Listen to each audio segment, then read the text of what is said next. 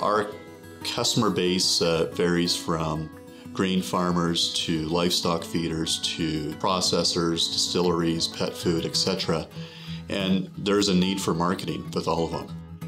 A lot of our customers are not necessarily buying boat loads or train loads. They may be buying one truckload or they may be buying 100 truckloads. So we have the ability to service these customers from anywhere from a one load basis to whatever they're asking for.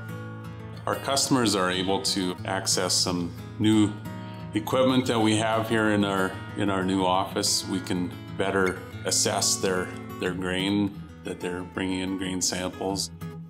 We've had a falling number tester. We've also updated some of our other grading equipment such as our uh, protein and moisture tester, grain splitter. So, you know, our idea with sampling is to make it as objective as possible and to reduce the amount of subjective testing that's done on samples. Our facility has uh, better computer systems that allow us to work more effectively as traders and with each other.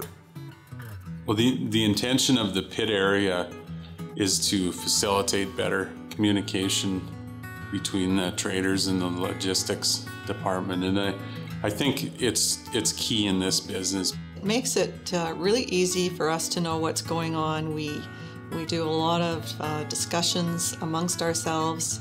We may hear at the desk next door that they have 500 ton of something that we might be looking for for one of our customers. So there's great communication with the setup in this office. It's nice and bright and it's just a great place to work. In addition to that, it's a place where people can come. We, we have a little more room here. It's a people it's a place where, where a producer or an end user can come and sit down and visit with us. We're now trading a lot of export commodities, primarily to the United States.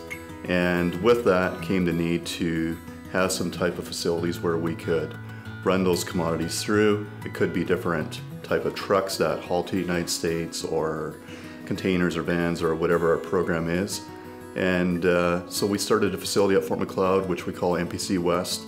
It allows us to access that PNW by truck um, in different ways and uh, keeps us competitive in Western Canada, in the southwestern part of Alberta, on the commodities that we buy there as well. We still trade a lot of feed grains. That's still where the bulk of our loads are, but uh, diversifying into some other commodities which Western farmers uh, have been growing for many years and proved to do a good job growing. The second facility is out by Picture Butte, Ben Storage. It's a small facility. We do not own the, the property that it's on, but we own the the bins that uh, and scale and everything that's set up on that location. And uh, it's used primarily for holding grain that uh, comes from uh, plants in Western Canada and then reloading it onto trucks that uh, typically are going into the US. I think customers are, are looking for for solutions, they're looking for alternate means of marketing their grain, and that's where we fit in. We find those uh, niche markets where we can maybe exploit a little better price for a producer. With the demise of the Canadian Wheat Board, that opens up a lot of doors to us.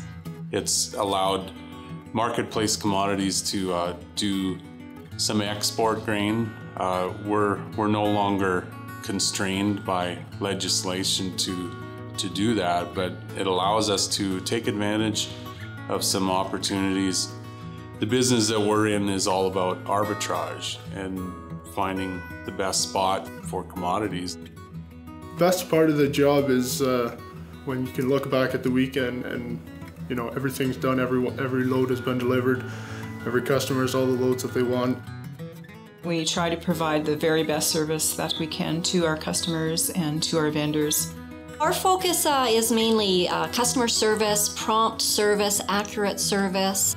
Important things in a day are making sure everything's entered accurately so that truckers and farmers are all paid accurately.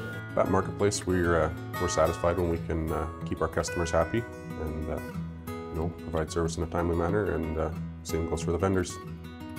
Things definitely change with technology. A lot more of our business is being done by text, by email, still by phone call. It's very important to Marketplace Commodities that our customers get what they need on time at the quality that they ordered. With our vendors, same thing, product has moved the way they contracted it, that we're competitive on price, and that we settle properly.